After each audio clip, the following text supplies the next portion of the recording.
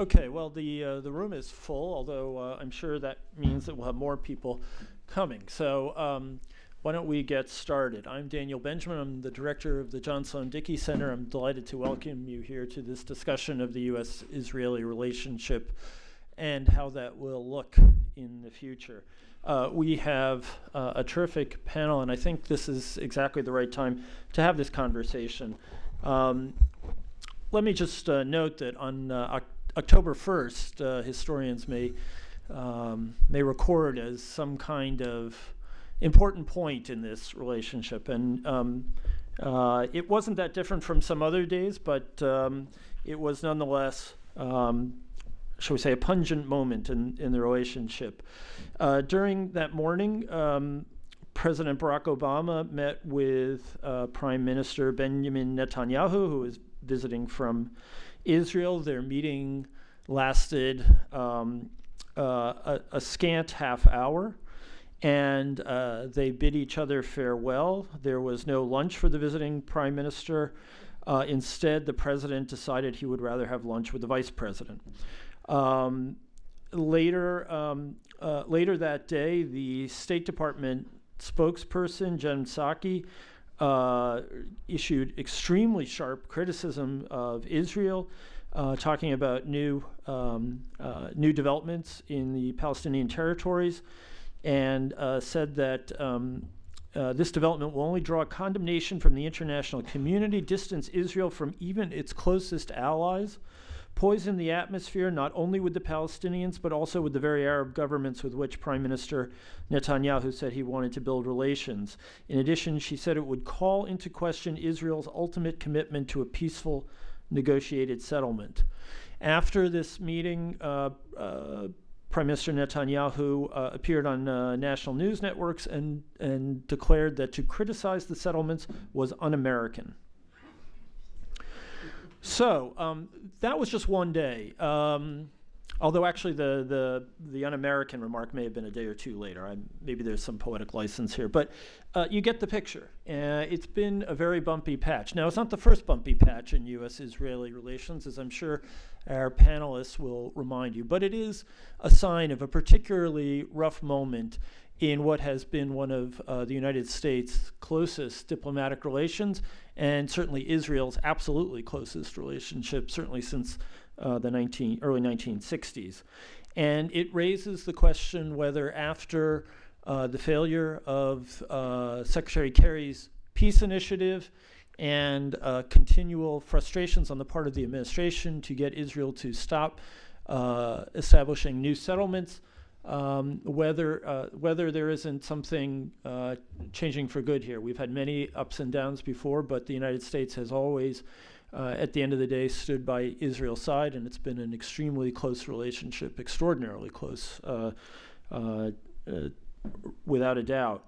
And um, so I thought it was a good time to discuss these issues, and I can't think of a better panel to to do it. Um, three of the foremost experts on the on the subject at hand, and I'm delighted that they're all here today in Hanover.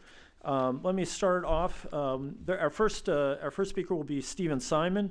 He's a visiting lecturer in Dartmouth's Government Department and a senior fellow at the Middle East Institute. He previously served as senior director for the Middle East and North African Affairs on the National Security Council staff at the White House. Uh, in 2011 2012, he served um, uh, about five plus years on the Clinton National Security Council staff, uh, and uh, he has also been a scholar at, uh, at um, the Council on Foreign Relations, the International Institute for Strategic Studies. He's taught at Princeton uh, and Georgetown. He writes widely, including most recently in the New York Review of Books, Foreign Affairs, Foreign Policy, the New York Times. Um, he has even written in, co-written a number of reasonably well-received books, including The Age of Sacred Terror and The Next Attack. Those two he wrote with me. Uh, the, uh, the Arc, A Formal Structure for a Palestinian State, and uh, The Sixth Crisis, Iran, Israel, America, and Rumors of War. He holds degrees from Columbia, Harvard, and Princeton. Our second speaker will be Ambassador Alfred Moses, who is co-founder, senior partner, and chief strategy officer of Promontory, a financial services firm that he recently co-founded. He has had a really distinguished legal career as a partner in the Washington law firm of Covington and Burling. He was special advisor and special counsel to President Jimmy Carter. And under President Clinton, he served as American ambassador to Romania and special presidential envoy for the Cyprus conflict, uh, a, a conflict roughly as intractable as the Arab Israeli conflict.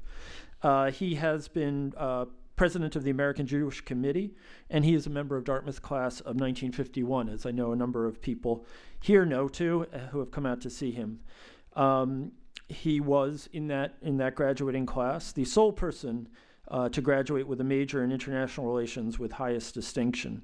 He also holds degrees from Princeton and Georgetown Law. He has written in the New York Times, the Herald Tribu- International Herald Tribune, Washington Post, Haaretz, and many other places. And finally, we have David Makovsky, um, no stranger to Dartmouth, having been here just a couple of years ago. He is the Ziegler Distinguished Fellow at the Washington Institute for Near East Policy and director of the project on the Middle East peace process. David's remarkable because he gets to both direct the project on the process, and when he's not directing it, he's trying to make peace uh, uh, himself. He just uh, concluded a 10 month tour on the Secretary of State's uh, peace initiative. Uh, he also teaches at uh, Johns Hopkins University's School of Advanced and International Studies.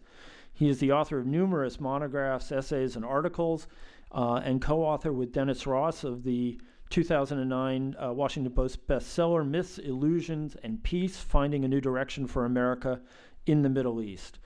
Uh, his commentary has appeared in the New York Times, the New Yorker, Washington Post, Los Angeles Times, Wall Street Journal, and many other places. And um, I particularly admire David because he was uh, a journalist before he became a policy uh, person, and he uh, served as executive editor for the Jerusalem Post and was diplomatic correspondent uh, for Haaretz before uh, coming to uh, the Washington Institute. He has degrees from Columbia and from Harvard, so it's a great panel, and um, I don't want to talk anymore. So, Steve, why don't you lead off? Okay, thank you. Thank you, Dan. You, uh, grab the mic. Thank you very much. Grab the mic. Over to you. You, Oh, I, I, everyone and they all know each other well. Can you use the mic? Um, yeah, sure.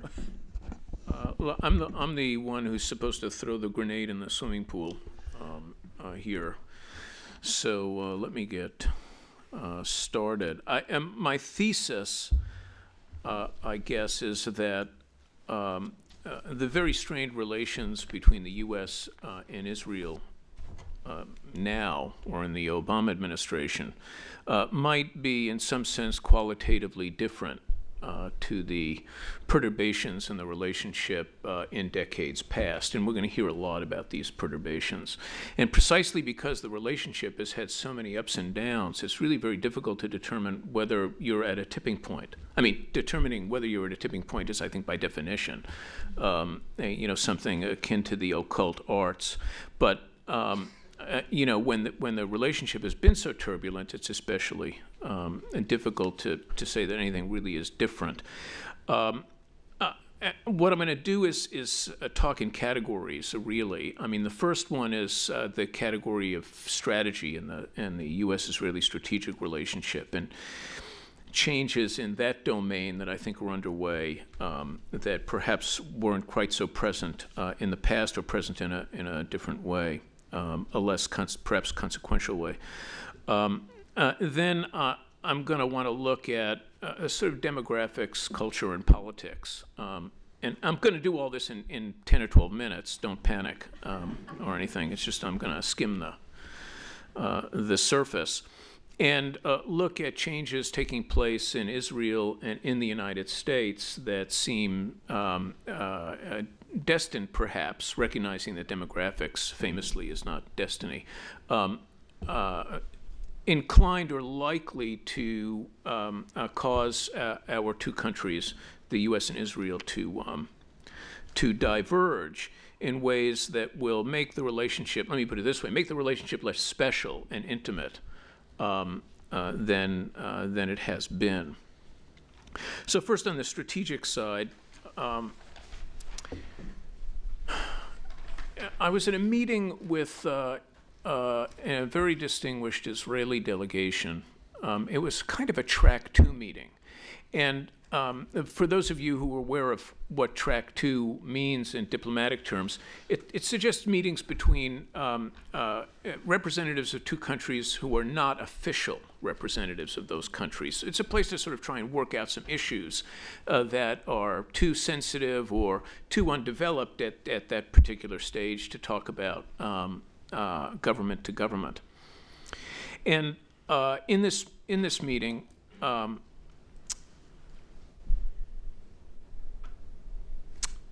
The American delegation, I, I, I, thought somewhat imprudently, was really pushing um, uh, the importance of the uh, Palestine question and Israel's relationship with the Palestinians, its readiness to make peace, and so forth, making the point that this was an American interest. So um, if Israel was an ally, why wasn't it uh, acting in ways that favored the interests of its, of its ally? And uh, the response um, uh, from uh, an Israeli delegation that was very middle of the road, I think, politically, uh, and had a great deal of experience in the context of the U.S. Israel relationship, uh, got very uh, heated. Um, there was anger, actually, in, in the exchange. And they basically said, look, the U.S. is our one strategic partner, our one ally in that sense. And Israel has one strategic adversary, and that is Iran. And the U.S., the one strategic ally, is walking away from Israel's one strategic foe. Uh, and uh, this was put forward with such deep conviction um, uh, by individuals who um, uh, are not particularly connected to, you know, any of the Israeli right-wing parties, let alone uh, the current uh, government in Israel. That I was, I was really struck. And then shortly after that, um, uh, I wound up back in government and uh, dealing with Israelis who were, of course, serving um, their country. And what I sensed. And in fact heard quite emphatically uh, on the part of a number of interlocutors was that uh, Israel had, in a sense, um, uh, outgrown or was outgrowing its relationship with the United States, its strategic relationship. Uh, Israel um, uh, had uh, amassed a very substantial military capability and a, and a strategic capability. Um, it was the preeminent military power in the region. And it had other options. This was the striking part of the discourse. Israel had other options. And, and the, the argument related uh, in, a, in, a very, in, in a very organic, even umbilical way uh, to the argument I had heard previously at this track, too. In other words, if, if Israel wasn't going to uh, get the benefits of an alliance relationship uh, with the United States, uh, it had better start looking elsewhere. And uh, this is where the discussion led to alternatives. There was China and, and, India, with which Israel has a burgeoning trade relationship, particularly in the defense and security sphere, but in other um, uh, areas as well. And, and these were partners who perhaps wouldn't stand up for Israel in a crisis, as Israel had long expected uh, the U.S. to done to do, and the U.S. had in fact done. But on the other hand, they wouldn't try and interfere in what Israelis see as their domestic arrangements. Uh, and uh, that was a kind of important point um, to these uh, uh, to these Israelis I was talking to. And you know, against the background of the um, uh, arguments that broke out and the and the real, um, I, I have to say, intensity of the arguments that broke out during the first term of the Obama administration, I began to wonder whether the strains in that first term owed merely to, you know, proximate disagreements that would blow over and personality differences between two very, very different men, um, or perhaps there was something deeper. That's on the strategic side. On the on the demographics, you know, in the United States, there are serious uh, changes taking place. Um, uh, Jews uh, are, in, in demographic terms, um, a, a, shrinking part of the American polity. Uh, this owes largely to the phenomenon of intermarriage, which has now been studied uh, quite carefully and related to something that sociologists call the, the separation hypothesis, which is essentially the academic discussion of the nature and rate at which American Jews um, are becoming indifferent to Israel um, and, uh, and, and the fate of, of Israel, except in the most attenuated ways.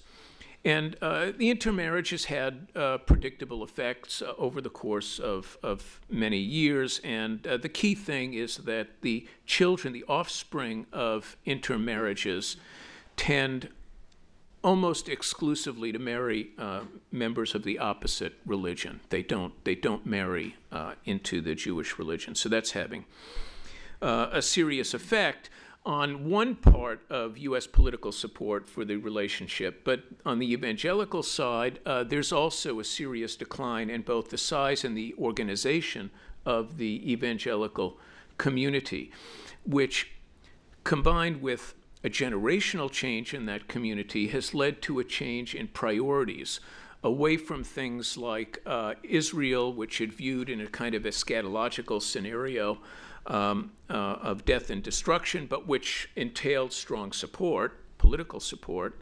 Um, uh, so uh, they're going away too. So that so the domestic sources of support for the relationship are going uh, away. Now another interesting related um, thing. How am I doing? Do I have a couple of minutes? You have a okay. couple minutes. Yeah. Okay. Um, uh, a related uh, phenomenon is the politicization of the U.S. Israel relationship within the American domestic context. Uh, this is a fairly new thing. Um, uh, Al Moses might have a different uh, view on that. In my experience, it was fairly, fairly new, particularly the way in which the uh, Republicans, in their campaign against um, the Democratic incumbent uh, in 2012, used Israel uh, as a battering ram, as a political battering ram, saying that uh, the Obama administration had thrown Israel under the bus, and you know, fairly strong language of that kind. Well, um, as a leader of the American, current leader of the American Jewish community, told me um, uh, in a kind of an interesting and, and in a sense, um,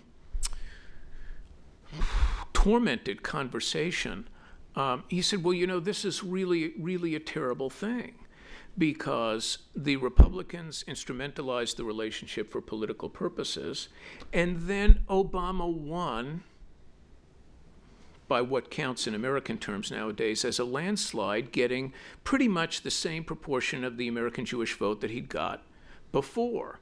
And the tormented part of this conversation was along the lines of, well, you know, uh, they've torn off the emperor's new clothes. Now every American president will know there is no price to be paid um, for alienating um, uh, uh, uh Israel um, in, in terms of, of policy debates.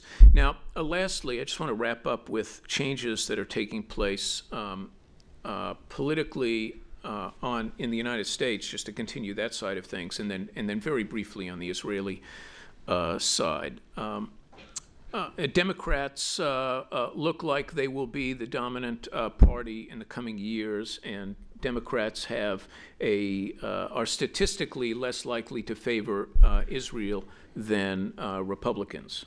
So uh, you're looking at the establishment of uh, uh, perhaps not a permanent majority, Democratic majority, but a, but a durable one, which looks at, um, at Israel somewhat less favorably, and which will be composed of a significant Latino component. And uh, the Latinos poll uh, as being less favorable towards Israel than, um, uh, than other Christians. On the Israeli side, uh, you're looking at a demographic trend that favors, that is within the Green Line, favors um, very Orthodox Jews and Arabs.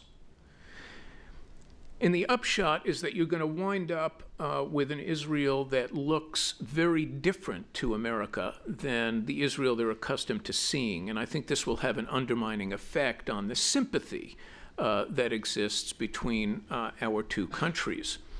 And what's so fascinating, and I'm going to end on this note, is um, the migration of non European Jews in Israel to um, ultra religious um, uh, uh, communities.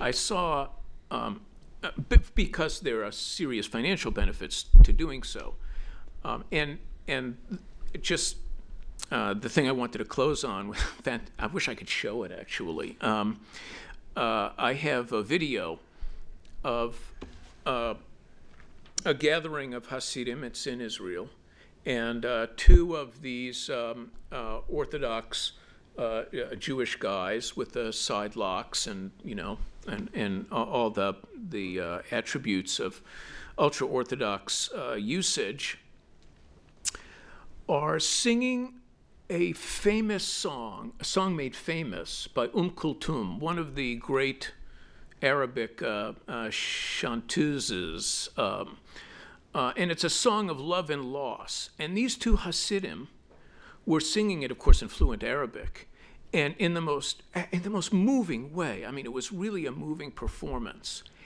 and uh, it was an illustration of the migration of Sephardim to European Jewish um, uh, Hasidic communities in Israel, the Satmar, the Belzer Hasidim, um, uh, they're attracting uh, Sephardim. And, and that, that video was emblematic of a, of a powerful change in Israeli society that I think will affect American perceptions in years to come of that country. Wow. Well, as the Center for International Understanding, I think we're going to have to post that on our website. So, uh, Al, over to you. Thank you, Dan. Thank you, Steve. I, I agree with everything you said except your conclusions. uh, I'm delighted to be here. Uh, at my age, I'm delighted to be host anywhere. you get the trifecta.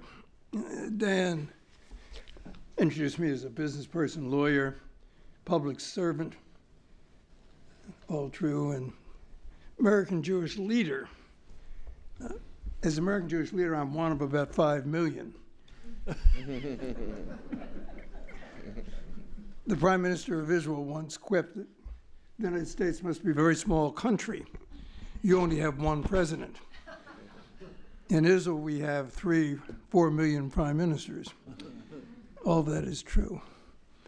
Uh, Steve, let me just respond to one point you made it was perfectly valid. Uh, in the 2012 presidential election, Barack Obama received 70% of the Jewish vote. Mitt Romney received 30%.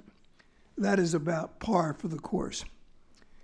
That was despite the fact that the Israeli government made it very clear that they preferred Mitt Romney. Indeed, the present Israeli ambassador to the United States, Ron Dermer, uh, stated publicly in Jerusalem, everyone understanding he was speaking for the prime minister, that the government of Israel would like to see Mr. Romney be the next president. And what does that tell you? It tells you something that I've known for a very long time. American Jews do not vote in presidential elections on the basis of what's best for Israel. American Jews, like all other Americans, vote on the basis of what's best for them. And therefore, what affects American Jews is what affects all persons when they go into the voting booth economics, stability, order, worldview, and personal view. Israel doesn't show up, except for those who are disposed to vote Republican regardless. That's been true in this country since the creation of the State of Israel. And American politicians, by and large, don't understand that but it's a fact. And those of you who think otherwise, we'll chat a little bit later. Uh, my view is that it is unlikely there'll be any sea change in the bilateral relationship. I say that with a high degree of certainty, but not absolute, of course. As a friend of mine once said about a depression, you never know whether you've been in depression until you come out of it. And that's true here as well. I'm talking about economic depression. We won't know till later. But the signs that I see are not indicative of a change. Now, there will be a change in terms of how people think on the National Security Council staff under the last two years of the Obama administration. There will be changes in the thinking in the State Department. There will also be changes in the thinking and conjecture at think tanks and in academia. But that is not what makes foreign policy. I won't call it model airplanes. It's much more serious than that. But in a democracy, what makes the components that make for foreign policy are much more complex, much more sophisticated. A friend of mine, whom you know, Zbigniew Brzezinski, when he was President Carter's national security advisor, was asked by Kuwaiti journalists Would American foreign policy vis a vis the Middle East be different if it wasn't for the American Jewish influence? And Zbig, who was born in Poland, is Catholic, um, did not think very well of the Begin government in Israel. Doesn't think very highly of Netanyahu's government today in, in Israel. Replied, I can't answer that question. Because what you're asking me is would American foreign policy be different if the United States were not a democracy? And that's the real answer. In a democracy, all the societal forces come to play on the formulation of foreign policy. For those of you who are studying government, and I don't know whether you have a course on this at Dartmouth, but if you don't, you should. Think a bit about who makes foreign policy in the United States. You might start by reading Ambassador George Kennan's diary. George Kennan, who was the Soviet expert, got credit for the containment policy, fairly or not, or rightly or not, was an elitist. He's right from Plato and Socrates. The elitist usually self proclaim, should determine policy. But that's not the way policy is made in a democracy, whether it be in Israel or in the United States. So let's look at what we have. Uh, historically, the United States relationship with Israel has had its ups and downs, as Steve said. It started with President Truman's recognition of the state of Israel. And it's interesting, a little footnote to history. When he was given the statement to sign recognizing what was called the provisional government of the Jewish state. He crossed it out and said the state of Israel. This is the President of the United States correcting a memorandum that came to him, became the United States' recognition of the state of Israel. At that time, the military and the State Department were very much opposed. Secretary of State George Marshall said he would have to think hard as to whether he could support President Truman in the 1948 election if he recognized Israel. And the relationship between White House and the Defense Department, James Forrestal, the first Secretary of Defense, was equally frosty. And that continued well into the 60s, didn't change until really after the Six Day War and President Johnson authorized the sale of Phantoms.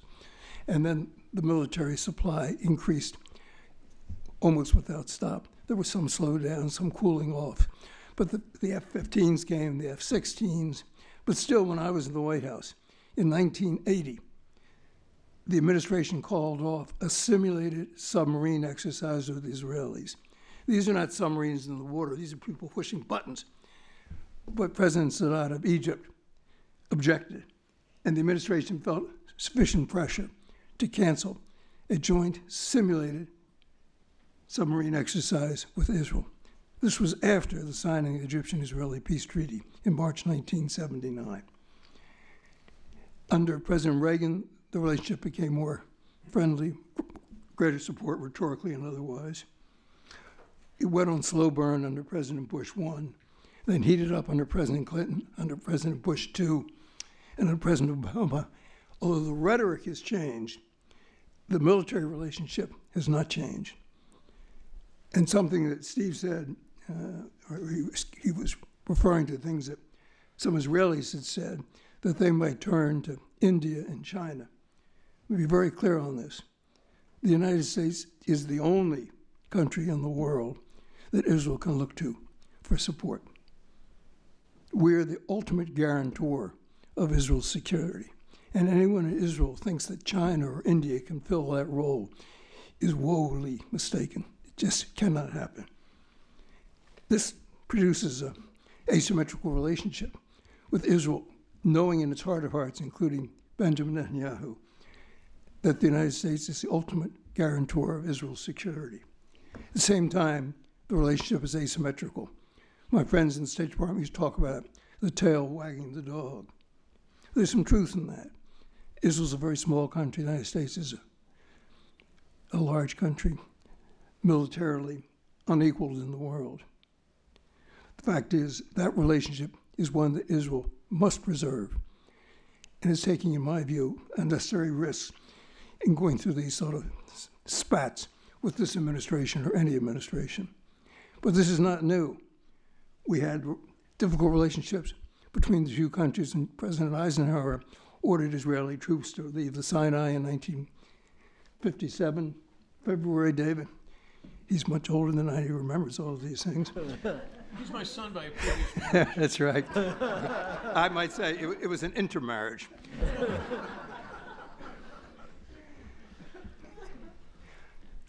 we had difficult times in, in the early 80s when Caspar Weinberger talked about the possibility of hostilities breaking out between Israeli forces and the U.S. Marines in Lebanon. We've had ups and downs throughout the relationship.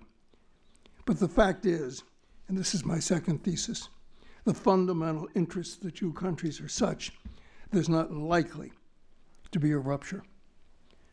Like it or not, just as the United States is Israel's only ultimate guarantor of its security. Israel is the only reliable ally the United States has in the Middle East. It's the only functioning democracy. It's the only country where the people think more like us than they think like others. And the fact is, it's unlikely, in my view, that the United States is going to tilt towards the position of the Arab world, writ large or small. Writ large, it's the entire Arab world. Writ small, it's the Palestinian Authority and Hamas. We can deal with those separately. In terms of writ large, you've got extremism of a kind that makes us shudder, both Sunni extremists and Shia extremists, whether it be Iran, whether it be ISIL. When you see Americans being beheaded, I don't think we'll ever see anything like that on the part of any Israelis. Our two communities more or less, in the larger sense of it, think and act and respond the same way. We're not likely to move towards a Hamas that embraces Sunni extremism, is ideological and religiously committed, unlike anything that exists in Israel. Israel's never had a religious government. It's always had a secular government. And that's not likely to change. Indeed, the political movement in Israel today is away from extreme religious participation in government, drafting religious students into the army. The one thing that the majority of Israelis will agree upon is that the religious groups in Israel have too much influence. Of course, the religious groups feel they have too little influence, but the majority is of the view that religion and politics should not mix in Israel, just as the majority of Americans feel the same way about our country. The fundamental interests are what drive the relationship, and I don't see that changing. Uh, is Prime Minister Netanyahu the best public relations person on behalf of Israel and his relationship with the President of the United States? Absolutely not. He may come in number 10, in a list of 10. But the fact is, that doesn't affect the fundamental relationship. The American public, and I have the Pew Research report of just two months ago, from July, three months ago, shows no change in public support for Israel vis a vis the Palestinians. And that question is directed to the Palestinians.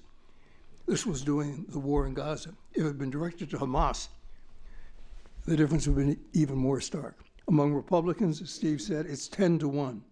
Among Democrats, it's 3 to 1. And as Steve said, support for Israel among Hispanics, Afro Americans, younger people is less than among the public at large. But that's always been true. It's true among American Jews too. The younger American Jews in the age groups 19 to 29 are the least supportive of Israel. But what happens when they become 65? They've changed. Will that be true of other Americans? Of course it was. It will be. Will Hispanics become more pro Israel? I don't know. Will Afro Americans, as they become more part of the American society, don't see themselves as a group apart? The answer is yes. Is the politicization of this issue between Democrats and Republicans good for our country or good for Israel? The answer is no on both counts. But we are a democracy and we take it as it is. I do not see in the foreseeable future, although there'll be peaks and valleys, there'll be good days and bad days. I don't see it in the statistics, and I don't see it among the American Jewish community. There's been very little change among the American Jewish community. One thing that has happened is the leadership of the American Jewish community has tilted in the direction of Bibi Netanyahu. And that's for a very simple reason. You tilt to whomever the prime minister is because you want to be able to see the prime minister and bring the prime minister to your annual meetings and get letters from the prime minister and get your picture taken with the prime minister. It's the reality. If the next prime minister of Israel is someone from the Labor Party, you'll see things shifting a bit. People want to have their picture taken with the prime minister. They want to embrace him. They want to call him his friend. They want him to call that person, man or woman, by their first names. So these are the realities. When I look at the underlying tendencies in both countries, within the communities, the history, but most importantly, the alignment of the fundamental interests of the two countries, there'll be changes, but the relationship, in my view, is not likely to go off course. Now, I invite all of you to come back here, let's say in Jack, which we say 25 years. Jack is my classmate. And look at this issue again, we'll be much wiser. Incidentally, Jack, I just want to reassure you that longevity is not a reward for virtue, at least on my part. My bottom line is could it move? Yes. Will it move? In my judgment, I see no basis for coming to that conclusion sitting here today. Thank you very much. David, on to you. Well, first, um, it's an honor really to be with uh, Dan, Steve, Al, uh, people I have enormous respect for. It's kind of, uh, you know, it's my first speech back on campus uh, since being in the government. I, I, hope I don't talk like I'm out of the State Department. I'm trying to purge that. But uh, this is my first speech, so um, it's, it's, an honor to see so many, many of you, and it's an honor to serve the country. Um, Look, where my, let me just give you the kind of, I'll try to be telegraphic to, to try to get as much in as possible and allow maximum time for discussion. What is my view? I share more Al's view about fundamentals. I don't want to sweep under the rug the tension, and therefore my remarks will be, be colored by what I went through personally um, over these last 10 months. And, but where, where do I think that the uh, allegations or whatever are a bit overstated. Um, so those are kind of basically the three areas I want to cover in the short time that I have here. Look, um, without belaboring the things that Al said, I tend to agree with him on, on the shared values uh, and the shared interests. Uh, basically, I think you've got broad support. Um, the Hill can't even agree what day of the week it is, uh, but there's one issue they have bipartisan support for, and, and, and that's Israel. On the polling data, the, the Pew Research polls, which attract a lot of attention, even among people called, who identified as liberal Democrats, um, 39 21 Israel. It's not the same as Republicans, obviously, which was 73 to, I don't know, 9. I'm not exactly sure. But, but even among uh, uh, African Americans, Hispanics, where there's a lot of uh, anxiety, certainly in the Jewish community, the numbers are 43 to 20 Israel. uh, in terms of who you sympathize with. Uh, and among the Hispanic community, it's uh, these are all from this July, 41 to 17. So those there's a lot of hue and cry about that, but the numbers really I don't think bear itself out as the critics have argued. Now, can things change? Of course. Uh, but I think that's worth saying. Evangelicals 70 to 5. Um, so that, but I mean, the goal of the peace process hopefully is we don't want this to be a zero sum. I mean, I got engaged in this because we want dignity for both sides. We want to have a two-state solution that fits with both. But I do think if you if the focus of this panel is about the U.S.-Israel, not as much as peace, um, I'm happy to, to, discuss that if you have any questions. Um, I think it's stronger than it looks. Um, you would say in the intelligence relationship and in the security relationship, you've had uh, Ehud Barak was the defense minister. You've had Bibi Netanyahu say it's never been better in that regard. So, I mean, a lot of the fundamental pillars, and amid the regional uncertainty of the Arab upheaval, which began in 2011, you know, Israel looks pretty steady in, in comparison. So I think that's in terms of broad brushstrokes. Now, I don't want to brush under the carpet the tension because the tension has been there. Um, and this is where I guess my uh, not being the State Department anymore will come out. Um, look, there's clearly been differences at the top. And clearly, you know, Israel feels it's been misunderstood uh, by this administration. It's a small country in a, in a very difficult neighborhood at a very difficult time of upheaval, turmoil, earthquakes, uh, hurricanes and they don't feel they get always uh, the requisite love that way. Uh, these, uh, the president over the summer very much, um, you know, was talking about how mindful Israel was of civilian casualties.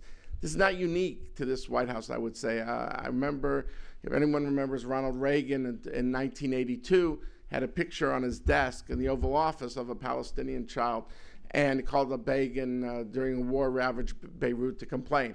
The White House is always very image conscious. It, that, that's not unique. But uh, the differences between these leaders, I think uh, uh, the tension has come up um, from you know from time to time that, that we can't um, uh, you know we can't dismiss. What what have also fed the tension? I think in terms of uh, and Martin Indyk, uh, who was the one who brought me in. Um, to the government, you know, the, the concern that the U.S. is pivoting to Asia and that is not always understood in the American, uh, you know, public as well. The belief, will you really be there? And this came up, you can imagine, with the security arrangements issue. Well, if you have, you know, these security arrangements, but if you left Iraq, you left Afghanistan, will you leave the Jordan River? Um, I think that that issue is a question. I think another question was the framework agreement, which is the area that I was most intensely involved in. Um, I feel it was a bit unfair the way it was depicted in the media. Uh, Martin has also said it was a 50 50 thing in terms of where the blame lay. Uh, but there was clearly an element of tension. Israel didn't think they should even be called 50 50, being that President Abbas never gave President Obama an answer to the framework that we presented him on March 17th. Uh, there's been tension over the Muslim Brotherhood. Uh, clearly, Israel's very happy uh, with the new government in Egypt. Uh, I think they would consider this the golden age in terms of their relationship with the Egyptians. They believe the fact that there was a ceasefire in Gaza this summer was only because of Egypt. And we, the United States and the Egyptians, made sure that Hamas did not come out ahead. We wanted the Palestinian Authority to come out ahead. So there was, um, but there will be differences. On Iran, clearly this has also been an issue. Uh, we're actually both uh, dedicated to the idea nobody wants Iran to have a nuclear weapon. But how do you define where, at what point they can go, um, has been a point of difference. And each one of these points is about eight subpoints. I just don't have time uh, right now. But now, so I'm not here to say there hasn't been any tension, but I think that we should put in some sort of context. First of all, nobody's looking for a fight. Um, as, uh, as Steve or Al said, Israel uh, is dependent on the United States. Maybe its economy has grown so greatly, it's now got the population of, uh, of a middle level European company, uh, country. It's, it's safely in the OECD, the most advanced uh, 24 countries, wealthiest countries. So, but still, the it's not just the aid; it's the hardware. uh, um, and that relationship is important. And so I don't, and Israeli political public, publics, when they come to election time, uh, they don't like it when their prime minister mismanages the American account. Uh, that's why Yitzhak Shamir was not prime minister in 1992. Um, so I think that there's no percentage in it for Israelis. Um, um, Shimon Peres famously said that Israel is the one country that has gotten so much support uh, from the United States, but remains staunchly pro-American. Um, but uh, but at the same time, you know, on the on, on the on the president's side, there's no effort to exacerbate things either. Uh, we've got other things uh, that we're fighting now in the United States. We're dealing with the ISIS element, which really, you know, became to full uh, force after the Gaza uh, ceasefire. We've got the Ukraine. We've got a lot of foreign policy issues. I'm not even mentioning Ebola or other issues to deal with. No one uh, wants a fight. Um, and certainly, if there's an Iran deal on November 24th, although people in the press say the odds aren't great, clearly this president is going to want to work with Israel in terms of the United States Congress to help get that through, which will not be easy. And um, but I think that's a fact that nobody is spoiling for a fight here. And uh, like I said on the framework issue, I think it's more nuanced. Believe me, if you give me six hours, I would tell you why. Uh, it's more nuanced in terms of who's to blame, and um, it's not as one-sided as maybe some of the critics make it appear. The settlement issue is also, I mean, that's an area that I dealt with very intimately over this last year it's almost as if one country is playing baseball and the other one's playing basketball. They're not talking the same language. And I don't want to bore you and get so deep in the weeds because we don't have the time, but basically, two thirds of the settlement tenders, what we call the construction area, was in the 1.9% of the land closest to the green line. The green line is the pre 1967 boundary that Abbas, um, you know, said would be Israeli anyway. Uh, people don't know that. Now, Netanyahu, ironically, could improve things with the United States by pointing that out, but he doesn't because he's got right wing coalition people like uh, Mr. Bennett and the Jewish Home Party that doesn't want to hear that. Um, and so, because, but most Americans don't go around with a map. So we don't know where this stuff is going on.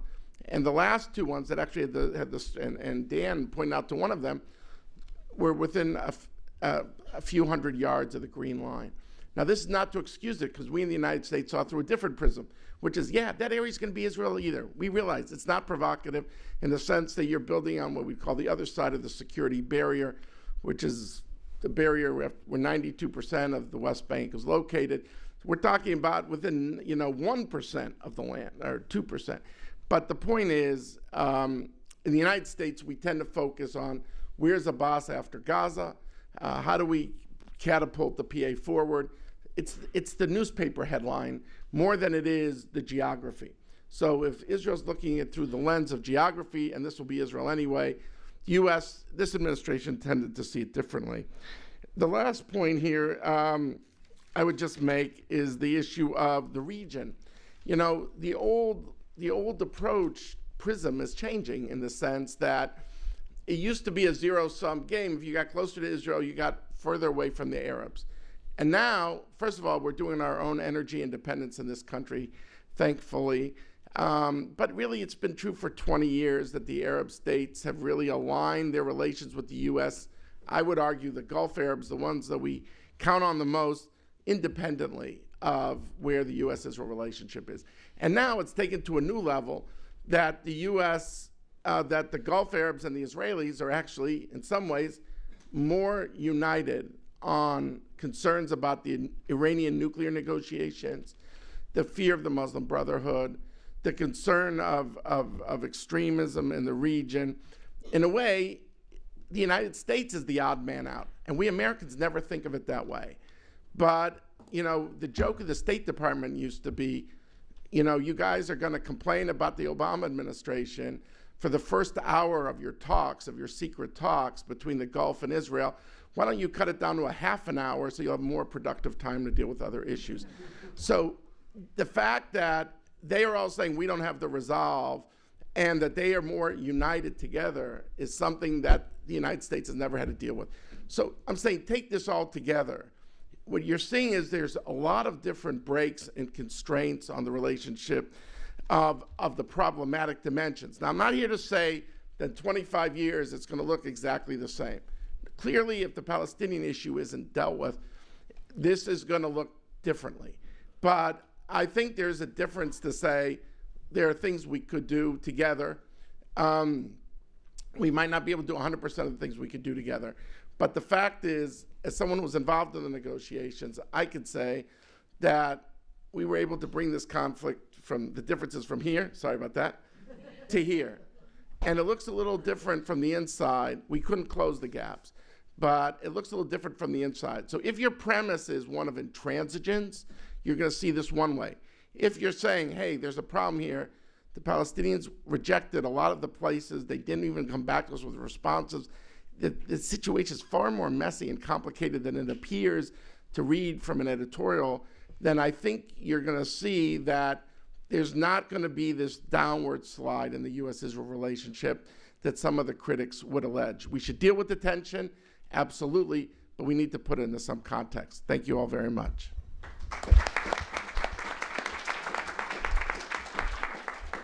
David, I'm having uh, palpitations from all the sense that there's much more coming and that we have to hurry up.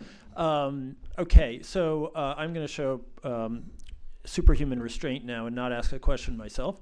And what I would like to do first is we have two uh, distinguished Israeli uh, uh, scholars here in the audience. I'd like to ask each of them for uh, a brief response, and then we'll open it up to uh, broader questions to the rest of the audience. So why don't we talk, uh, begin with Professor Benny Miller, who's also visiting here in the government department. Okay, uh, was a great panel, so you need, you need the mic. I don't wanna say something new, but basically, I think the basic question is what are the what is the likelihood of realignment on both sides, from the American side and from the Israeli side, away from the uh, American-Israeli uh, alliance? I think the key the key argument in the United States, especially kind of the Mearsheimer and Wa- Walt uh, book and the Israel lobby, was that uh, Israel is the key source of anti-Americanism in the Middle East.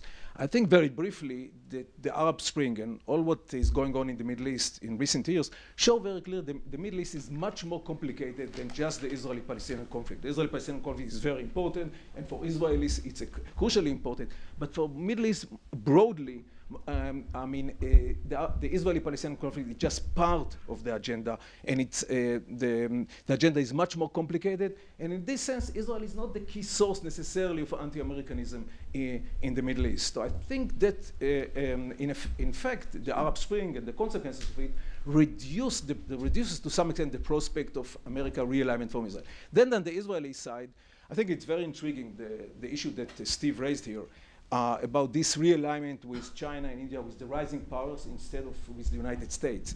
I mean, uh, first of all, it's the first time in Israel history that it has, at least theoretically, the prospect of realignment, because always, especially during the Cold War, Israel really didn't have any, any uh, uh, probability of realignment with another power.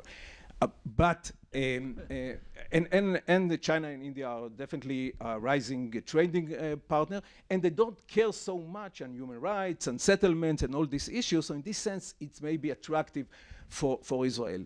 But I mean, in uh, I mean, Israeli dependence on the United States is so high, is so great.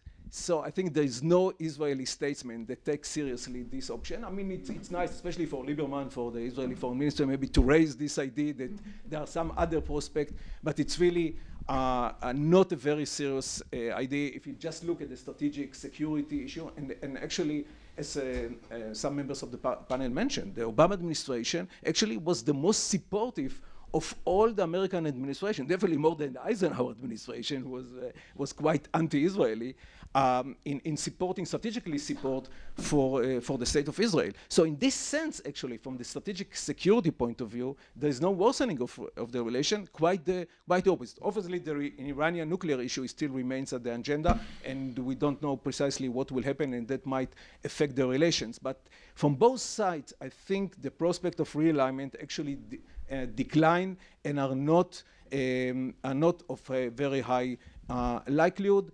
And definitely from the Israeli point of view, I think the dependence on the United States, the United States is only the only reliable ally of the United of Israel that Israel can really trust, especially in times of crisis, question of resupply, like for example in 1973 war. I mean, only the United States can sell it. neither India nor China will play this role. So in this sense, I think despite all the um, um, some disagreements between the current government and the, the American uh, uh, government, Israeli public is very much pro-American, despite maybe some extreme right-wing uh, sector of the Israeli society. And uh, in this sense, definitely from the Israeli point of view, there is great eagerness for maintaining, preserving, and enhancing the relation with the United States. Thank you very much. Let's, let's Professor Bernie Avishai.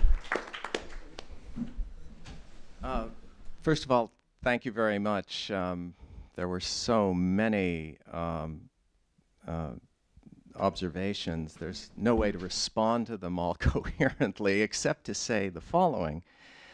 Um, when the title of this panel was uh, put forward, um, I have to admit, as someone who's been sort of trying to fight for a certain style of thinking within Israel for a long time, um, the prospect of greater tension between Israel and the United States was very appealing to me. and uh, all three panelists are dealing with this as if, no, no, uh, you know, no, we can mitigate the tensions. Um, I don't think mitigating those tensions are actually very good for Israel. Uh, at, you know, at, at a fundamental sense, sure, when we're talking about Israeli security, um, there are common interests which have been spoken of much more eloquently uh, than I can now. But there's also another issue, which is internal Israeli politics. Now, David sort of alluded to this when he said, you know, Shamir lost the election in 92 because he seemed to have screwed up the relations with Washington we're talking about these two countries as if they are sort of both great diplomatic players and like we're talking about the relations between sort of Germany and France after, you know, in the time of Metternich or something. I mean, no, no, no. We're talking about a country of 7 million people and the United States of America. We're talking about a, a city state which is economically dependent on uh, a knowledge economy which the American government and the American economy dominate. Um, I mean, the idea of, of you know Israel going to India and China is is so absurd. Um, uh, Israel will go where it goes to university. Um, in a knowledge economy and a country whose economy is networked to a knowledge economy, Israel will be in the Western orbit because that's where its science is. The idea that just because it sells some rockets to India, that means it's going to have a strategic partnership with India is ridiculous. But leave that aside for a moment. I, I want to come back to the question of internal Israeli affairs. Tension in Israel over the management of the relationship with Washington, in my view, is not only welcome, it's necessary. And, uh, you know, part of the problem, the frustration, I think, that people involved with what I call the parties of global Israel instead of the parties of greater Israel, the parties of global Israel, meaning labor and the centrist parties and so forth, and including, by the way, the rising number of Arabs who are uh, uh, Israeli citizens who, in a state of tension, clearly create a very difficult strategic problem for Israel, but in a state of hope, actually become a little like our Hispanics, who will give a kind of permanent majority to the parties of global Israel over the next generation. These are people who are third generation born in the country who speak Hebrew a lot better than you do. And you know, so when we talk about the future, it's very important for the Israeli political system to feel this heat if the parties of global Israel are actually going to regain power. And don't forget, in the last election, they lost the election by one seat. One seat. So we talk about Israel as if Netanyahu is a kind of permanent feature and, a, and a, the permanent face of the country. But Netanyahu is not the permanent face of the country. Ehud Olmert would have made a different peace process with Abbas than Netanyahu did. When, when David said, you know, we got it from this to this, no, you got it from, you know, what it was with Olmert to this, right? I mean, the, the problem was that Olmert had come so much closer than you ever got in this last round. So, so how does this relationship between Israel and America evolve in such a way that the, the parties that are capable of making peace actually feel the heat? That, for me, is the critical question for our future. Okay, I'm two two great interventions, and I'm going to take questions from the floor. Before I do, I just want to say that while I think most of us would agree that a shift to China or India may seem preposterous to us, um, as someone who also has dealt a lot with Israeli security issues, um, the notion of a cognitive bubble is a relevant one, and what we may see from the outside and what people other people see from the inside uh, can be two very different things. So. Um, Let's see some hands. George, We'll start right here. I, class had- of 51 at Cornell. I'm here to keep Al uh, honest. Um, Well, I'd be interested in how you think that the um, ISIS uh, problem is going to affect uh, Israel and the United States and their relationship. you, you- you're sort of Mr. Counterterrorism when I'm not.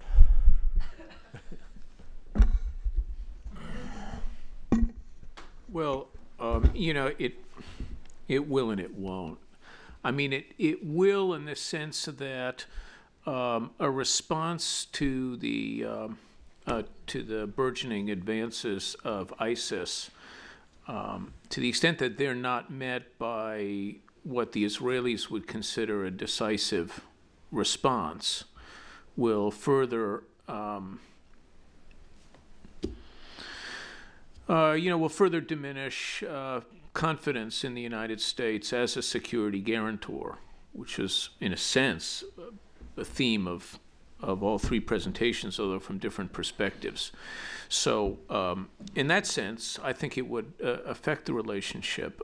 But uh, does ISIS, uh, you know, really affect Israeli interests? Um, uh, from a security perspective, mean, from that angle, um, I don't think there's a really big issue, although there is some uh, evidence of Al Qaeda trying to infiltrate uh, Israel uh, to carry out terrorist attacks, and, and I'm sure that ISIS, given its um, uh, you know very close connection ideologically uh, to um, uh, to Al Qaeda, will try to do that as well. I just wanted. Uh, you want to go ahead? There? All right. I would just say, look, actually, uh, sir, I see what you're saying kind of connected to Bernie in, in a different way, which is, you know, when you get to the issue of security arrangements in the Jordan Valley, all right? Now, we heard this before the ISIS issue really hit the headlines in a big way and before Gaza, which is, you know, the United States, we are trying to make sure that things cannot be smuggled in, you know, via the Jordan River into the West Bank, which, you know, the Jordan Valley would be the eastern uh, security perimeter of uh, a Palestinian state. And clearly, this is not something that Prime Minister Netanyahu or Defense Minister Ya'alon wanted to hear. And they'll say, look, the whole Middle East is an earthquake. Uh, who knows what's going to be in Iraq? Who knows what's going to be in Jordan? Um, it, the, the whole place is turning upside down. There's never, the Middle East is on fire in a way that it hasn't been before. And that argument was certainly made by Prime Minister Netanyahu this summer in terms of ISIS and of, in terms of Gaza, when Gaza, you know, when Hamas was able to lead to debris falling near the Israeli airport, where the FAA says no, no trip, you know, no flights coming in, uh, or the tunnels that were going cross border from Gaza to Israel. Now Netanyahu used used all that and used the ISIS threat to say, "See, I was vindicated on security arrangements." And I think, to me, to, to connect it to Bernie's point and uh, um, I admire Bernie's writings. I, I think that the issue of security arrangements is it's it's I, I came into government. Let's put it this way. Let me put it in personal terms, where I, I have my own mea culpa. I came into the United States government believing borders and security were the more technocratic issues that could be dealt with more dispassionately. I, I, of course, I knew the territory was was very, uh, you know, all the emotion and the biblical site. I mean, you know, obviously I knew that, but having worked on maps, I could see the solution there. Um, when it came to issues like Jerusalem and Palestinian refugees, I was concerned that that cut to the issues of self-definition of the parties, dealing with issues like nationalism, religion, in a way that I just didn't know if you could solve it. I came out of government believing that it was actually the border arrangements that would able to resonate, certainly with the Israeli public in a way. Even if you use the word NATO 27 times and use the word U.S. Uh, forces 28 times, that those terms, if, if it was defined by the political leadership as existential, uh, because of a threat of ISIS or because of all the volcanic nature of the Middle East, you wouldn't be able to go over the heads of these leaders to their publics. Um, and uh, I, am saying that, therefore, there's certain issues where the U.S. can have an impact on. I'm not so sure on some of these issues that the United States, given the regional context of ISIS, Gaza, and everything else, and, and a regional upheaval, where their people are going to listen to us more than they're going to listen to their own leadership especially when we're leaving Iraq and we're leaving Afghanistan. So I just think we got to have a sense of humility of where we're going to be able to frame the issues. I don't know if we could frame them on every issue, and I think the ISIS and slash border arrangements question is an example where we're not as well positioned, and that's one of my takeaways leaving the government. George, let me make another observation. I think ISIL will have a profound influence. Let me tell you why. Uh, when you and I were starting in this game, it was the Arab Israeli war.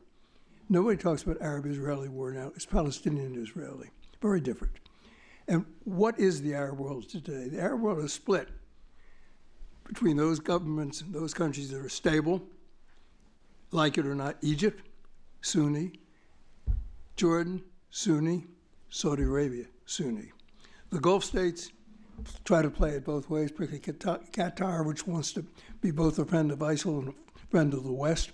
The other, the United Arab Emirates, very much with the U.S. anti-ISIL. What you have that's emerged is now with ISIL, you've got Sunni extremism in Iraq, running into Syria, Hamas, Sunni extremism, ideological, religiously committed. You've got Shia extremism, Iran, Hezbollah. Two terrorist operations, case of Iran, a nation state. The Middle East is split.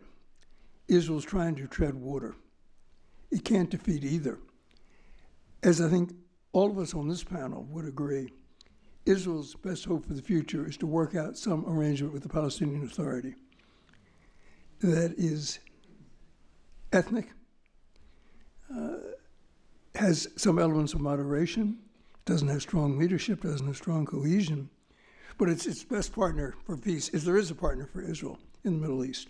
And the tragedy is that those two countries, call the Palestinian Authority a country, and been unable to minimize their differences to the point where they can reach agreement, whether it's here or here. Incidentally, Olmert was here, but Abbas wasn't here. He never responded to Olmert's last pr- proposal.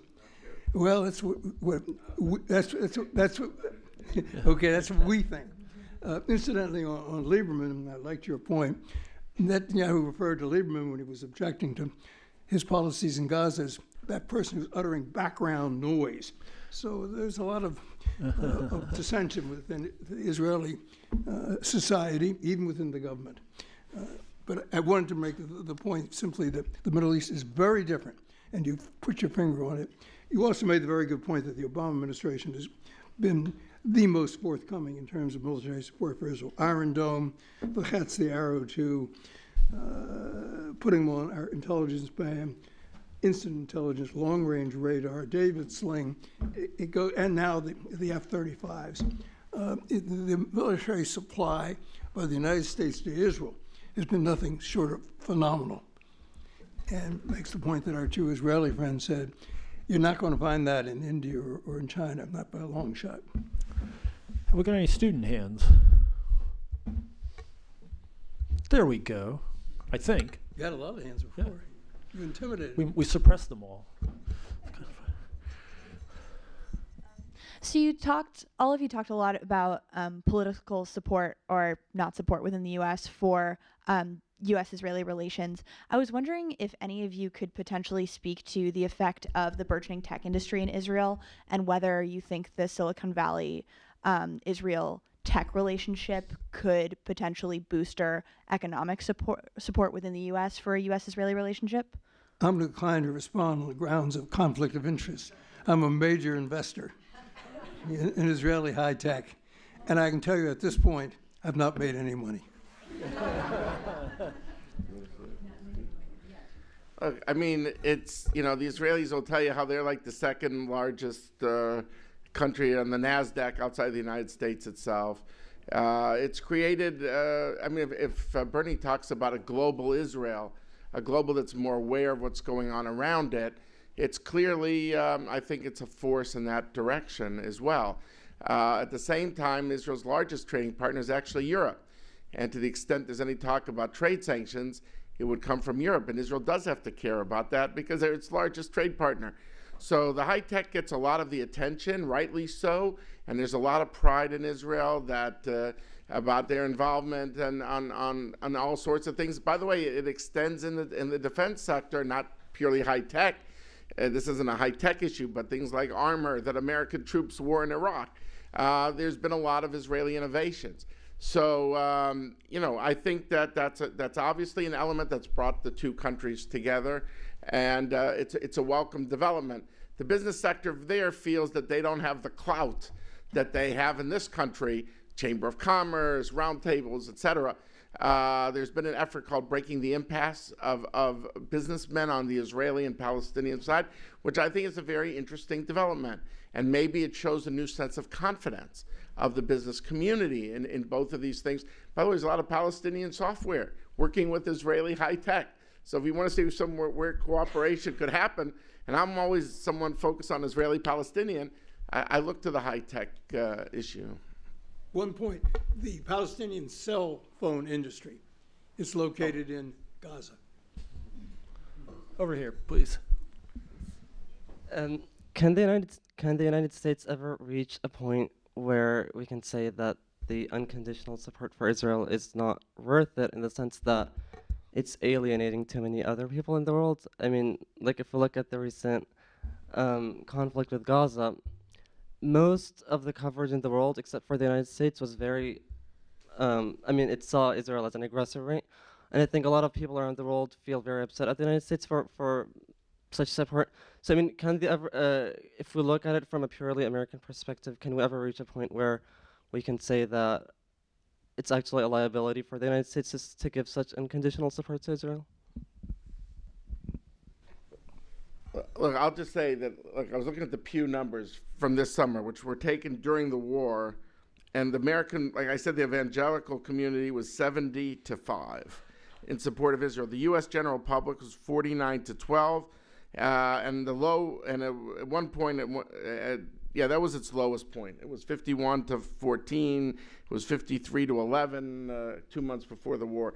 So, I mean, if you look at public support, I think there is a, a feeling that, you know, if there wouldn't have been indiscriminate firings against Israel, there wouldn't have been a war. And uh, and that therefore that this war and, and Abbas, President Abbas of the Palestinian Authority, he really castigated uh, Hamas, as did uh, Shukri, the foreign minister of Egypt, who said, You guys are crazy. That what you needed, you got on day one of the war. There was no need for this 50 day thing. So I mean, don't believe the Israelis, don't believe the Americans. I mean, but Abbas on the Palestinian authorities was saying, Hamas, you provoked a needless war, and I think that that was, in my view, accurate. The support for Israel during the height of the Gaza war among the American public, as reflected in the Pew poll, was higher than it was going back 25 years, 1978. So we don't see that. Yeah, there were demonstrations in Europe, absolutely. A lot of them Muslim led, but that's assumed not exclusively. There's always been support for the Palestinian cause among academia in Europe on the left, some here in the United States. Uh, that's a fact. But there hasn't been any sea change. Uh, and if Israel were to lose out, however you define that, it would be seen in the world as an American loss. Make no mistake about it. The two countries are joined at the hip, for better or for worse. And for Israel to suffer a major defeat of one sort or another, that would be perceived in the world as a defeat for the United States. I say that to you whether you agree or disagree in terms of liking it or not liking it, but I think it's a fact. So let me tie a few of the different threads up here and just ask a question of our panelists. What does it do to the sustainability of the relationship, the durability, the depth, the breadth, if the perception persists for, say, another five to seven years? Uh, given what you spoke about regarding the Arab Spring, for example, and the turmoil outside of Israel's borders, if the perception hardens that Israel's not interested in peace with the Palestinians, Right. Uh, Israel did what? that Israel is not interested in peace with the Palestinians. That, as the prime minister has said, uh, it's a situation to be managed, not to be solved. What does that do to uh, our relationship? Because it seems to me a constitutive part of our view, the United States view, that we have an interest in peace, and that's a vital interest.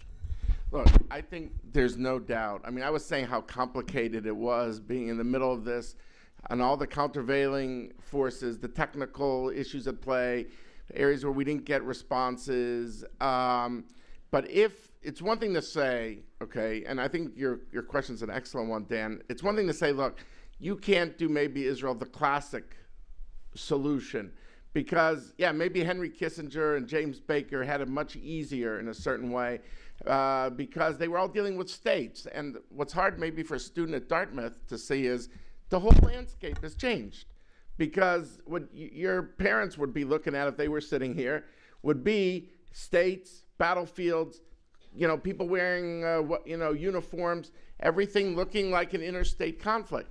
Now you look around the neighborhood and you see, wow, there's a non-state actor, Hezbollah, really running things in Lebanon. Oh, the Golan Heights on the Syrian side, uh, in Quneitra and everything is not run by the Syrian army anymore. It's run by an offshoot of Al Qaeda called Jabhat al Nusra. Uh, oh, in, in Gaza, it's run by Hamas. These are all, to put it uh, maybe in very antiseptic academic terms, non state actors who don't play by the usual rules, who believe you can indiscriminately hit cities and you can use your own people as human shields.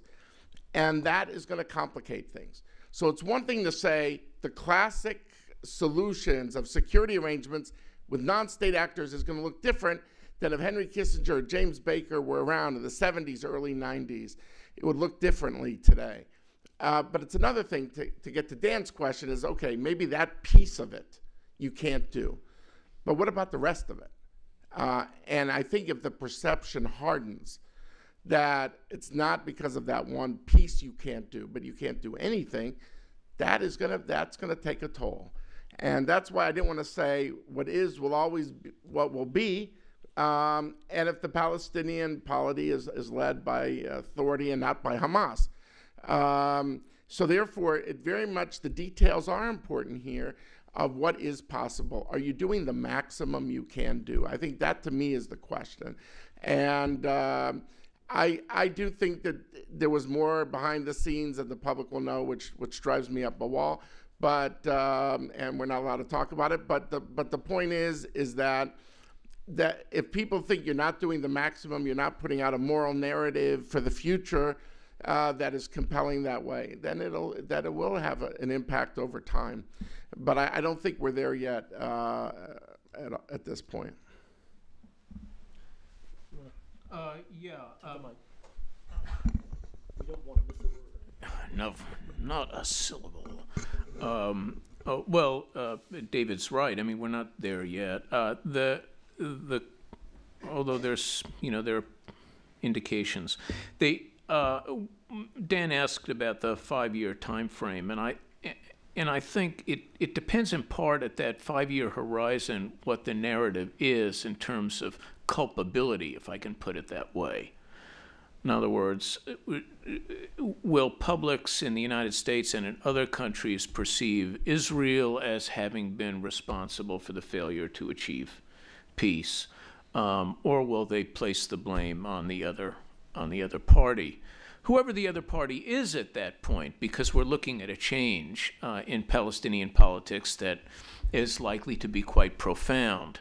Um, so uh, you know, difficult, difficult really to call five years out because you don't know, uh, of course, who's going to be blamed. What we do know, um, uh, since we're all tossing about you know polling uh, data, is that um, uh, in, in, longitudinal polls, Americans have said um, consistently that they think the failure to of parties of the parties out there to achieve a peace to achieve a peace is damaging the U.S. interests. And the, uh, the survey returns regarding approval for Israel tend to go down at periods when Israel is perceived, this is in the United States, as being responsible for whatever the barrier was um, to whichever process was in play at that time. And I think you can um, extrapolate from, uh, from those two um, uh, uh, you know, survey trends, what you might see in the United States in five years. I think, um, again, depending on uh, on the narrative of who's at fault.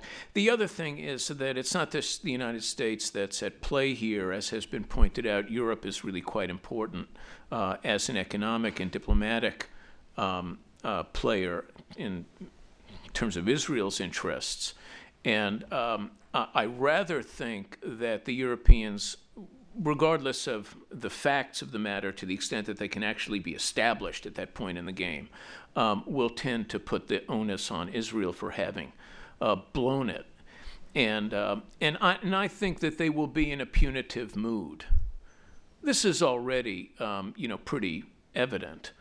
And it's going to be a real problem against other trends that are unfolding in Israel, particularly the very interesting, regard to the very interesting distinction that Bernie made between the global Israel and the, and the greater Israel, because the, in terms of the global Israel, um, in, I mean, in addition to these demographic changes that we've talked about just a bit, there's, we're beginning to see the effects of uh, about 30 years of underinvestment in education in Israel. And it's really very bad. Um, is Israeli school children rank just above Portugal, about number 21 in global rankings of educational um, uh, skills and attainment and so forth. And English language capacity in Israel is shrinking as a proportion of the school age population. So, you know, the notion of a global Israel against these facts, um, you know, it, it might it might be a mirage actually, but but the but the Europe uh, the European angle here on in relation to Dan's question, I think is is really uh, quite important. I'm going to be very bold and make a prediction. You ready? the Israeli-Palestinian conflict is going to shrink in importance for the American public. There are just so many other issues out there that are more important. And the Middle East is such a jungle. We're going to be more concerned about radicalism Sunni and Shia. I'm not predicting another 9 11, but it could occur, and it's not going to come from the Israelis. It's come from ISIL. It's going to come from Shia. That's our concern. You go to Homeland Security in the United States, they're not concerned about what Israel's doing, they're concerned about what radicalism in the Middle East is going to lead to radicalism leads to terror, and terrorism leads to attacks, indiscriminate attacks, with no state address to respond to. So I don't think the United States public is going to be very concerned with whether Israel is responsible, the Palestinian Authority is responsible. Who gets more blame? Who gets more credit if progress is made? It is diminishing in importance. There was a time when people thought that if you could solve the Palestinian Israeli conflict, you've solved all the problems in the Middle East. Today, we know that simply is not true. It may rank number three, number four, number five in terms of importance of conflicts. And fewer people are being killed in the Israeli Palestinian conflict. They're being killed by internecine warfare among the contending Muslim and Islamic forces in the Middle East. It's the sad reality. Uh, what you said about diminishing number of English speakers in in Israel is probably true, but there are a diminishing number of Hebrew speakers in the United States as well. Okay, um, we are running out of time. If we have any more student questions, I'd particularly like to see those hands. Very quiet. And it's because the students here actually already get that non-state actor thing, by the way. Okay, over here, please. You got a lot over there. A hypothetical question. Um, if Hillary Clinton uh, becomes the next president of the United States, will the climate be more favorable towards uh, between America and Israel? Who knows? None of us is Among Amer- qualified to among answer American that. Jews. Okay, among American Jews, 'cause I also get the Jewish polls. She is the odds-on favorite. What does that tell you? I don't know. And I know Mrs. Clinton quite well, very well. Just had dinner with her last week, sitting right next to her. I don't know. I know what her husband thinks, but I don't know what she thinks. Um, will her election be greeted with overwhelming enthusiasm in Israel? No. People will remember her kissing Mrs. Arafat. That's what will be on, on the memory block. Uh, what her policies will be, I'm going to leave it to the experts to respond. I'll just I'll just say one thing. President Clinton was in Israel. Uh, this is the husband. Uh, you know when uh, in the '90s when things were where four bombs went off in nine days. I remember being a journalist, and he came and he talked to high school kids and talked to them about their future in the 21st century. And I know critics of the president will say, you know, oh, that empathy, it's not sincere, the bridge to the 21st century. I heard it a hundred times. But he touched, he touched a chord in Israel. And it wasn't just the shalom chaver of being at the funeral and said, I never loved anyone, uh, you know, any man like I love Yitzhak Rabin. He came across as very genuine. And uh, I mean, I saw polls that were saying if he ran for prime minister, they thought he'd win by a landslide. So I, I do think that that Clinton sense of aura and empathy would be something that certainly I think on for the Israeli public, um, you know, I think we'll we'll have a, a big positive impact more than the kiss of Suha.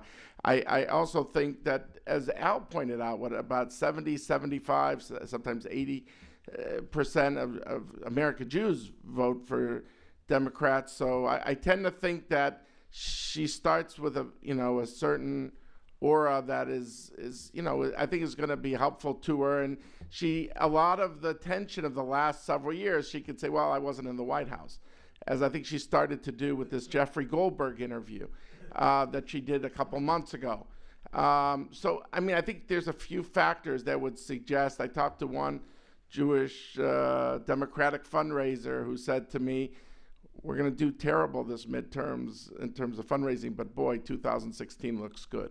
So, I mean, um, I think that there's a certain, you know, starts at a different place for, for those constituencies. Now, how she will do policy wise, obviously, as Al said, uh, is very much to be seen. Right. No, Bill Clinton was the most popular politician ever polled about in, in Israel. Sidra. I just want to say, uh, I'm not a. Um,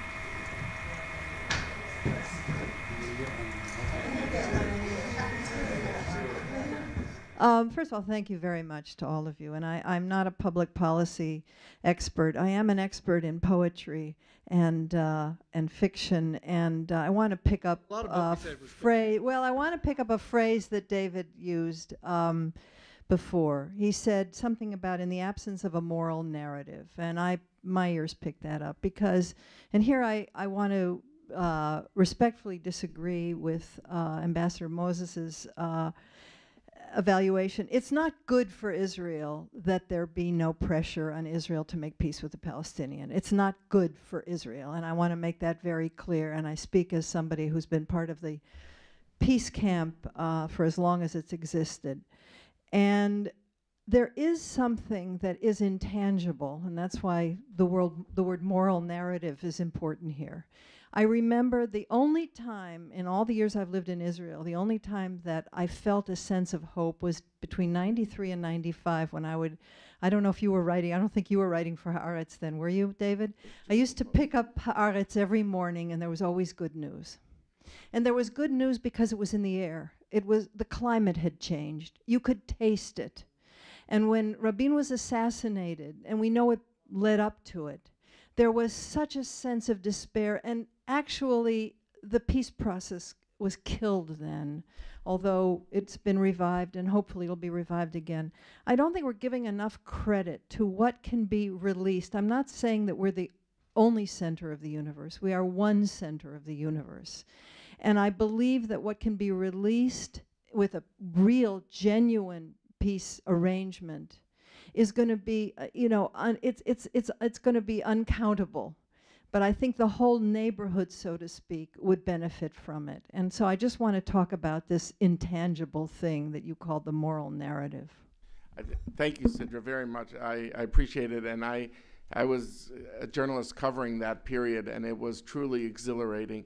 Uh, it had its scary moments uh, uh, because of the Hamas bombs that were going off, but there was a sense of an, I would say, an era of possibility.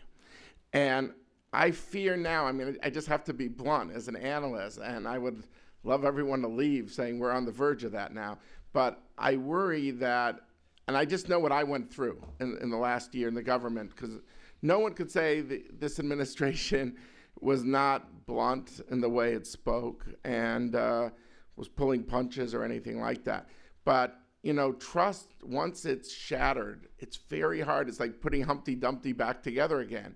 And we, we're, you know, we didn't have a peace camp really that we could play off of. I'm talking about in the U.S. government on the Palestinian side or the Israeli side.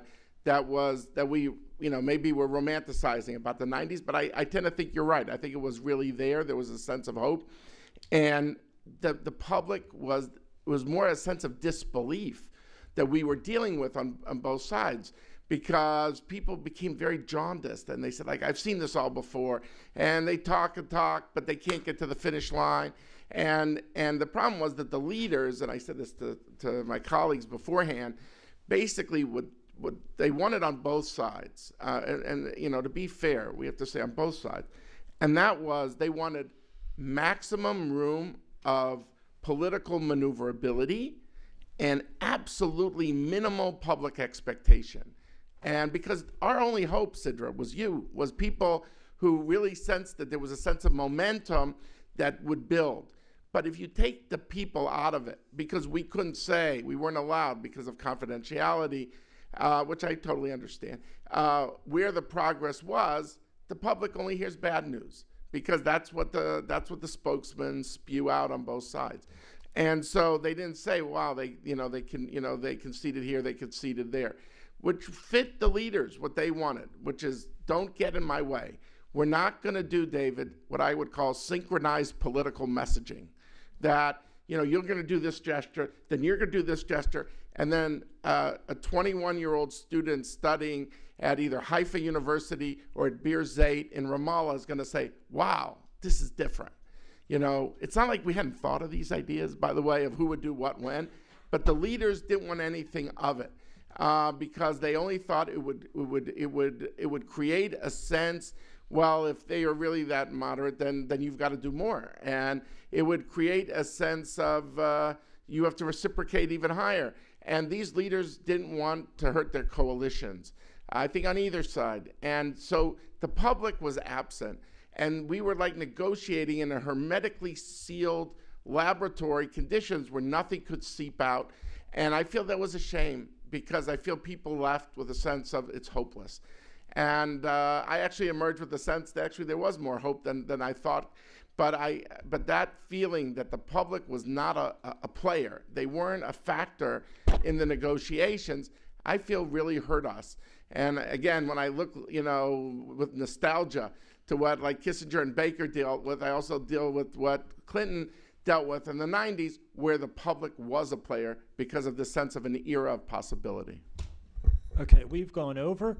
I'm sorry, there are still hands. I don't think I've been at a Dartmouth event yet where we had so many people remain in their seats to the bitter end. So I'm really delighted by that, and I want to thank you for staying. Let me say in closing, first of all, uh, I want to thank uh, our, our co-sponsor, Dartmouth Hillel, and Rabbi Boraz is up here. I should have acknowledged him at the very beginning, and it's been a delight to partner with him on this.